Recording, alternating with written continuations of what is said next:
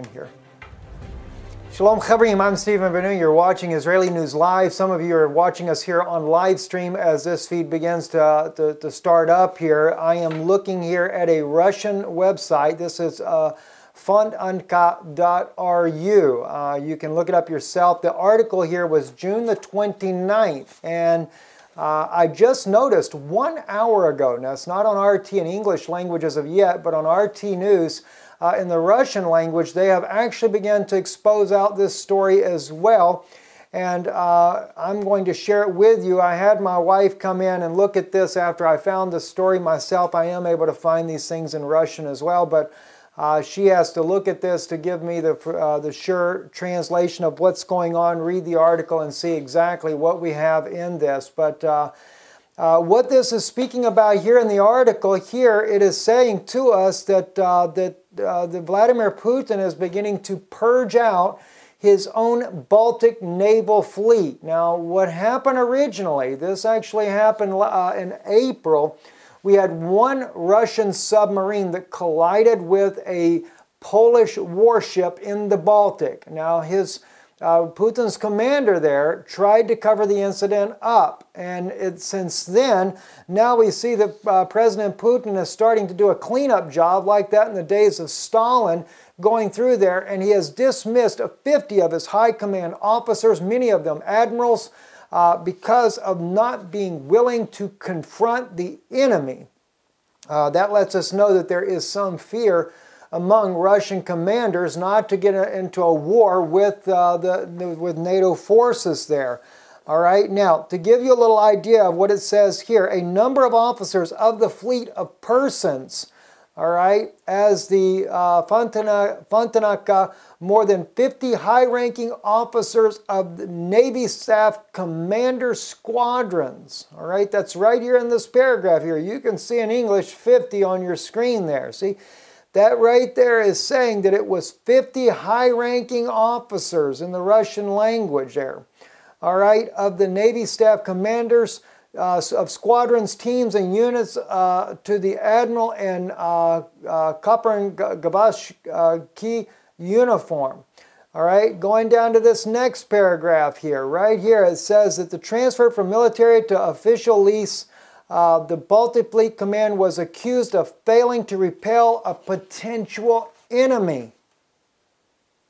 You know, this kind of reminds me of what happened with President uh, Obama in the case of where they were wanting to attack Russia, and, the, and it was leaked that he fired uh, or court martialed and imprisoned his top officer who would not release the military nuclear launch codes to do an attack on Moscow. All right, and so pot can't call kettle black in a case like this here.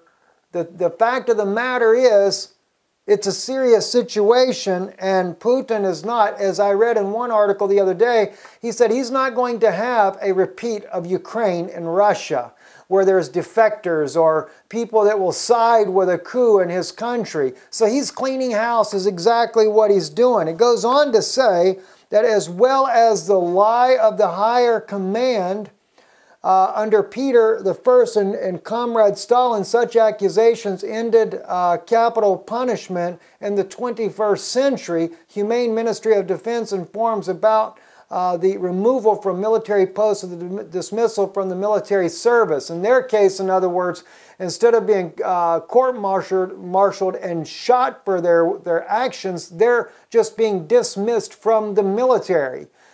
Putin is getting ready and he realizes that NATO is on his doorstep and NATO has no regard for life whatsoever. They consider to be humanitarian, but I guess in this case they're really not uh, especially when we see what has happened in Ukraine. And that's what I want to share with you now. All right, let's take a look here. We're going to go to Google Maps.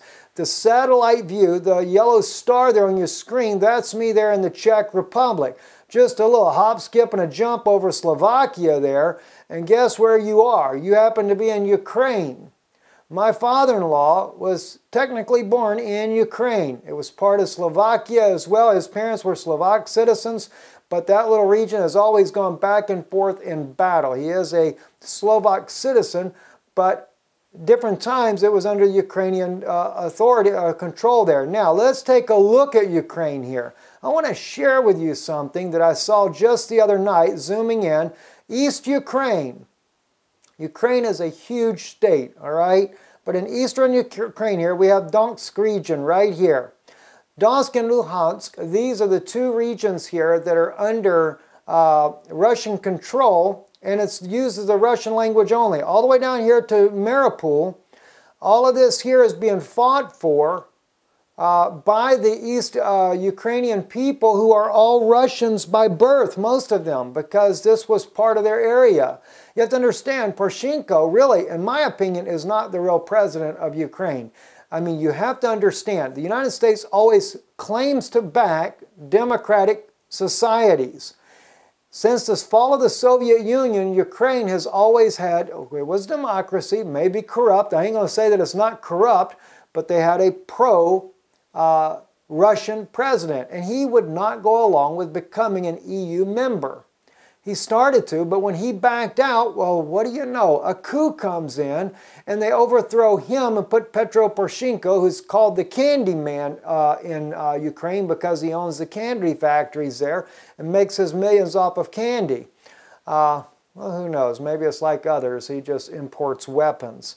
Uh, but anyway, I wanted to show you something here. As we zoom in on Donetsk, the region of Donetsk right here, all right, as we get a little closer, you can see the airport right there at the top of your screen. I'm going to bring you a little bit closer to here.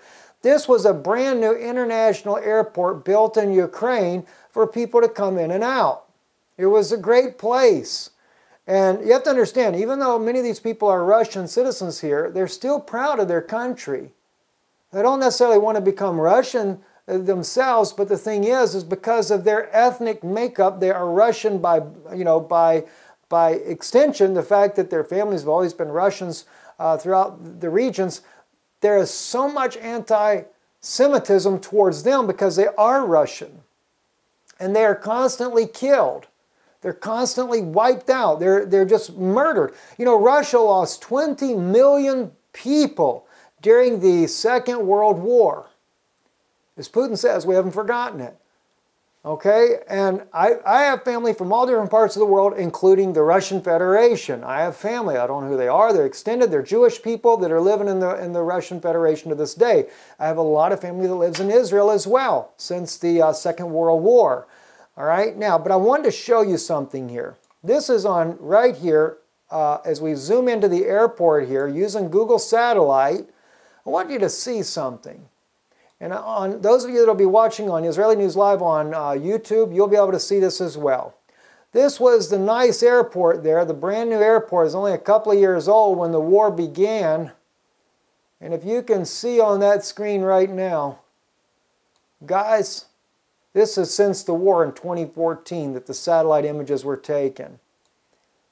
It is totally devastated. Uh, bombs the buildings are all bombed out as you move over here.